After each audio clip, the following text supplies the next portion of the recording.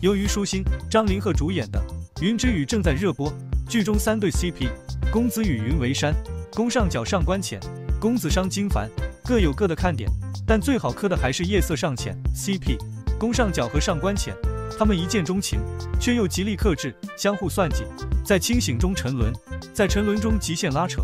杜鹃花的花语是我只属于你，而白色杜鹃花的花语则是被爱的欣喜。上官浅为何要在角宫种上杜鹃花？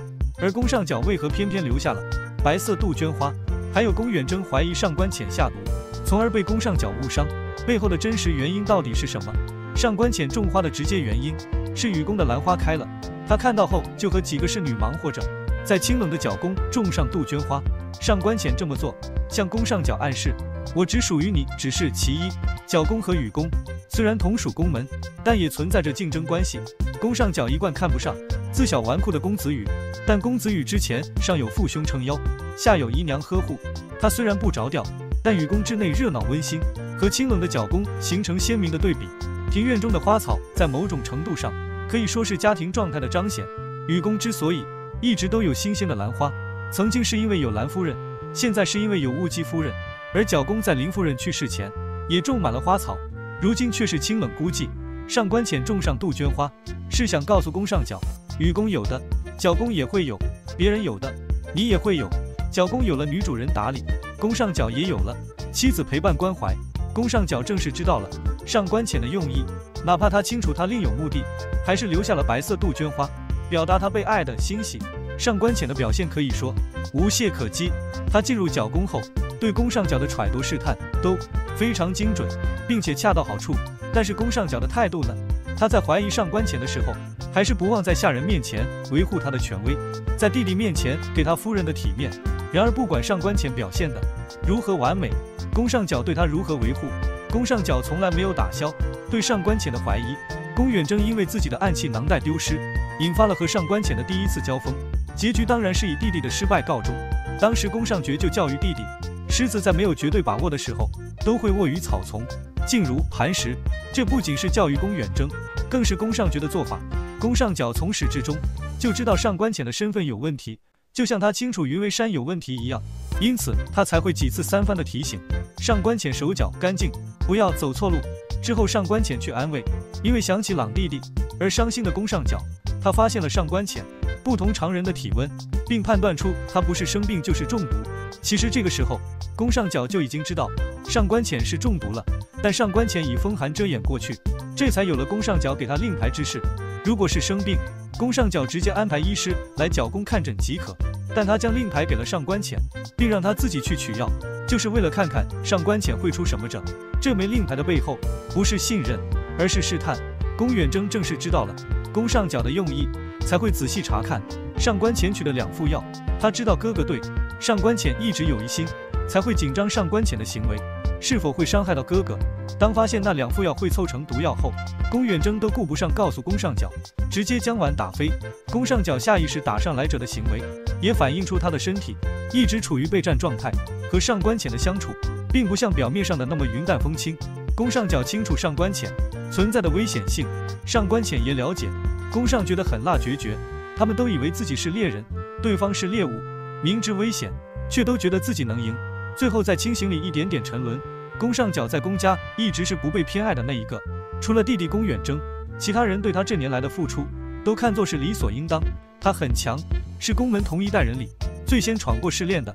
可执刃和长老却把少主的位子给了宫焕宇。明明一心为家族，尽心尽力守护宫门，可最后那群人却将执刃位置给了公子羽。常年的杀伐狠戾，让宫上觉性格越发冷酷阴沉。这也让很多人都对他退避三舍，唯独上官浅除外。他闯进了他的生活，目的明确，只为他。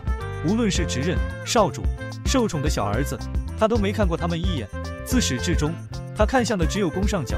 要知道，一直以来，宫上角身边只有弟弟，如今终于有其他人坚定选择他，把他视为唯一，这是他不能抗拒的惊喜。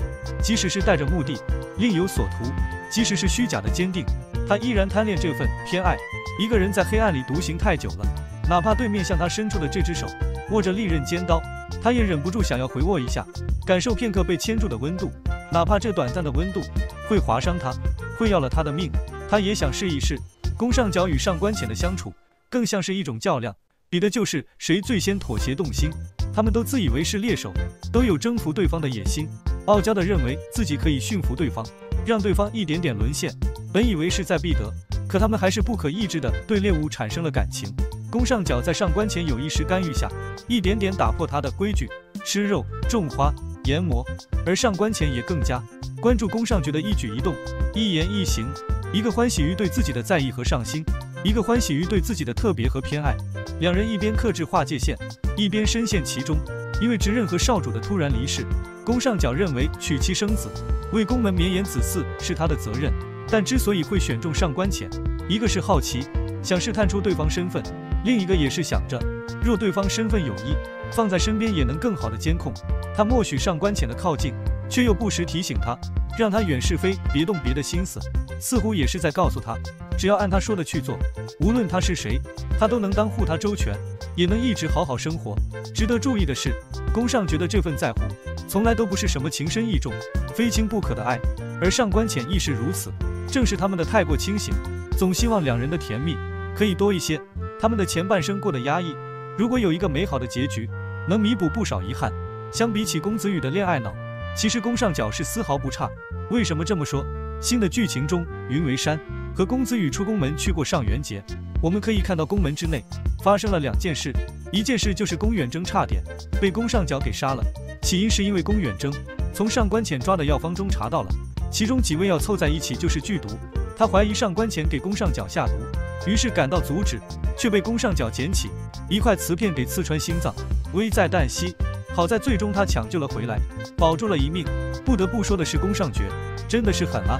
宫远征也真的是倒霉，至于上官浅，则是真的幸运。毕竟宫远征是为了自己的哥哥的小命着想，所以才会急着出手阻止。而事后宫上角调查了，那碗粥没有毒，但多少对于上官浅，应该是有所怀疑的吧？他难道还要抓贼拿赃不成？其实说白了，此时的他已经有一些爱上上官浅了，所以以至于没有对他如何。即便这一次他没有出手抓了上官浅，不久后发生的事情却令他不得不抓了上官浅。那就是明悟姬被刺杀了，而当时上官浅穿着夜行衣，蒙着脸和花公子交手之后被他重伤，之后他逃回角宫，宫上角率兵前来搜索，他却故意用熏香遮掩自己的血腥味，也正是因为如此，被宫上角怀疑。宫上角在他的房间之内找到了一滴血，而他也因此被抓起来。被抓起来的上官浅被折磨，但可惜他的确不是无名，所以宫上角也始终问不出东西来。只是令人没想到的是后面。上官浅居然又躲过一劫，被放了出来。这背后应该是云为山